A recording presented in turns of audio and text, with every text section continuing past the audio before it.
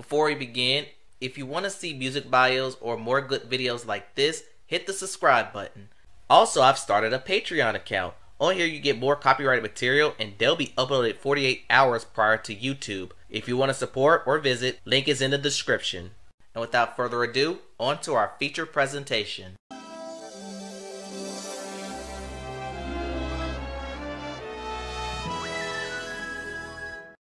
Avery is an aspiring swimmer. Yes, a black dude who knows how to swim. He wants a swimming scholarship, but he took a gap year as he's been raising his son with his girl Krista. In his neighborhood, we meet Cashmere as he's in there clapping cheeks with Dana, aka Ronnie from the Players Club. She's a mule working for cleanup who has been in prison for three years. He meets another man named Broadway who's also working for him. Broadway comes up short on payday and gets his ass kicked by Cash. He gives him 24 hours to give him the rest of his money. Broadway then tells him he'd rather be killed, and in hindsight, Cash should have killed him. But anyway, moving on, after this, Cash picks up his other friend, Dre. Dre is Krista's brother and high school dropout who's been holding down a job. Cash offers him to sell rocks for him, but Dre turns it down out of fear of repercussions from his mother and Krista, and this will have some importance later on. Avery wins his swim meet and meets Charles Pierce, a recruiter who sparks interest in Avery. While the meet is happening, and let me repeat, while the meet is happening, Broadway holds up a local burger joint and shoots the cashier. He then plants his gun in Cashmere's car for payment.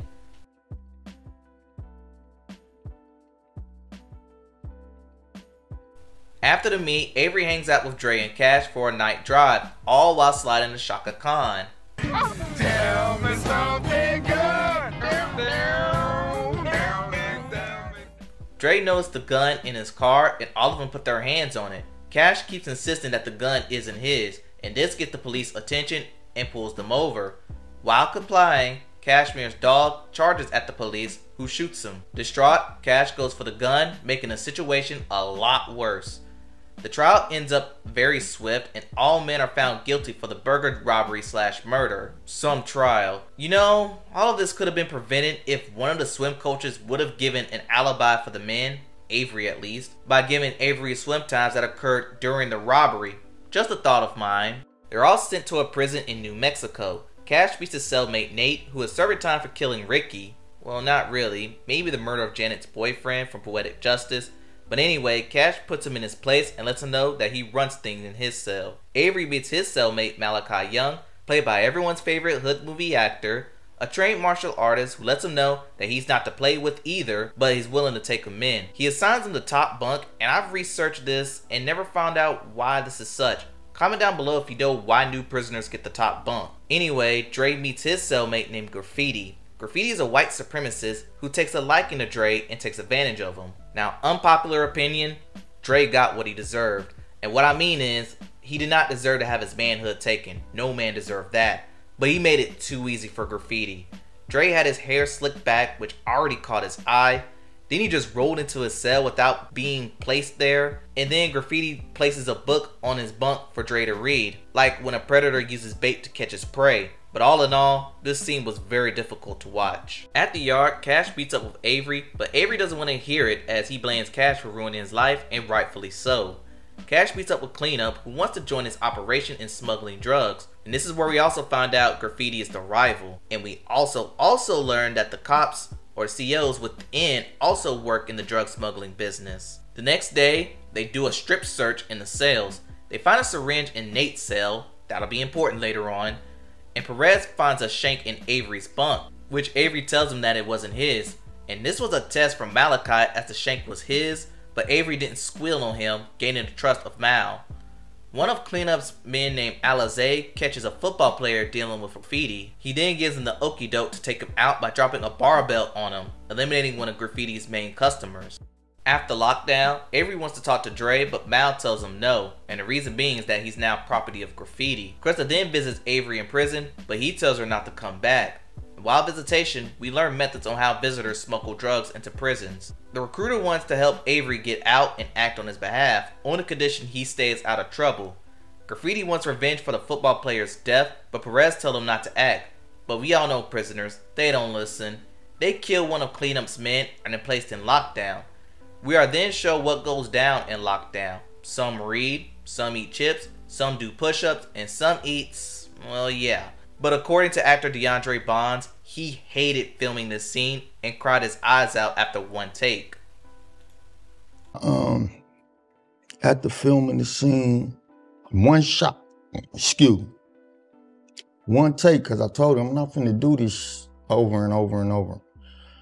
I walked off the set, went somewhere secluded, and I cried, bro. Because I felt like I just had uh, did something that wasn't necessary. You know what I mean? It wasn't me. It wasn't in my spirit. My spirit was uncomfortable. And if I could go back, I wouldn't do it. But more importantly, what most prisoners do while in lockdown is think and reflect, and it's finally getting to Avery. After lockdown, getting taken advantage of in the worst way is getting to Dre, and he now shoots up heroin. Told you that'll be important. Krista then revisits Avery, and it goes much smoother than last time. She tells him that Dre hasn't called nor wrote letters to them, so Krista tells him to look after Dre. And while this goes on, Dre finally finds the confidence to fight graffiti, but is not going in his favor. And that is until Avery and Mal steps in and a brawl ensues. Mal drops one guy and he falls three stories down. The COs put Dre, Avery, and Mal in ISO while letting Graffiti and his boys walk. Once again, Charles Pitts tells him that he's blowing it. He could be facing more time regardless. Mal somehow hears this and comes up with an idea. At the board meeting, he takes full responsibility of what happened.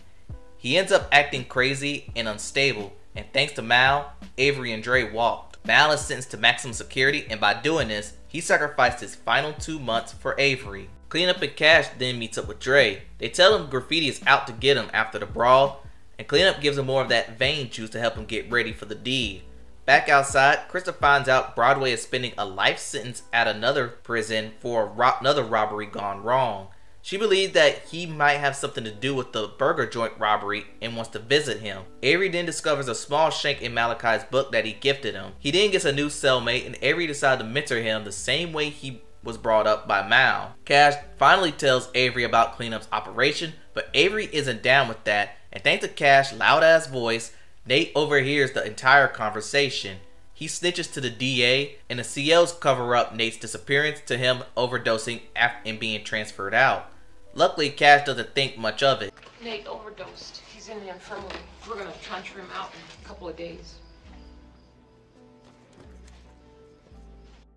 So got tired of me whooping his ass. With Krista, she talks to Broadway in an effort to confess, but that fails. Dre shoots up one more time to get him ready for the deed. He does the deed in the middle of a gospel concert, but the result would leave Dre dead thanks to a clubbing blow to the head by Perez. When Dana tries to visit Cleanup, she gets booked. The crew waits until one of the COs tells Cleanup that she got busted. He quickly blames Cashmere for the downfall, but he tells him that he told Avery. And this set Cleanup off and orders Cash to take him out or else he'll be taken out.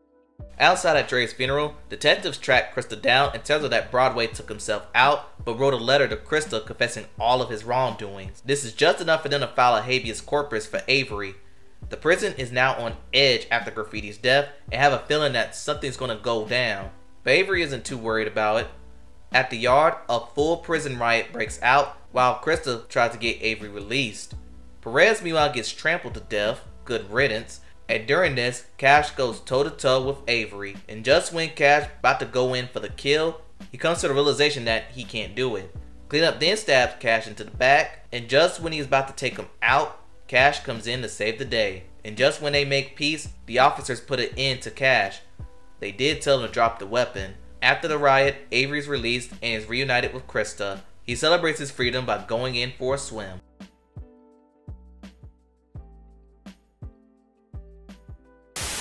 I discovered this film through another YouTuber's reaction video, and when I finally watched this film for the first time on Tubi, I was blown away, but I have thoughts, even though I expressed some of them in the recap already.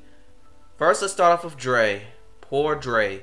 He was an example on how the weak is treated in prison, and I'm not taking back what I said about him earlier, but again, he did not deserve to get his manhood taken. Next was Cashmere, and what kind of friend is he? He encouraged Dre into quitting his job to sell rocks, and fails. He then puts his friends in a bad predicament when he draws a gun on a cop after she killed his dog. Then he tries to encourage Avery to be part of the drug smuggling operation, but Avery didn't want to do it. And for Avery, he represents most wrongfully convicted prisoners. Some prisoners don't get lucky like Avery and spend most of their time wrongfully put away for crimes they didn't commit. This film is definitely a watch, and it's reason number 264 why you should stay out of the system.